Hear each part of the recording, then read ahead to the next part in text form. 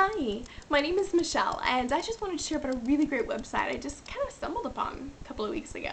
Um, it's called myereaderreviews.com, and I really love it because I was in the market for a Kindle and looking for some more information about it, and I just kind of stumbled across their website, and it's got a ton of information on not only the Kindle but other e-reader things that I didn't even know existed, like um, the Nook book reader by Barnes & Noble or something no idea that even existed, but it does, and now I can tell you all about it because of this website.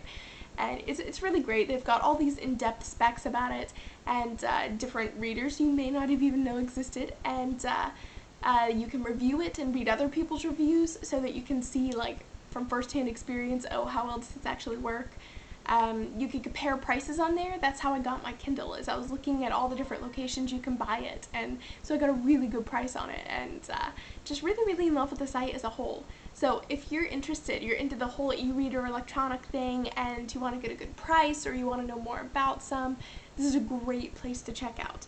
Again, the website is myereaderreviews.com. It's definitely worth checking out. I highly, highly recommend it.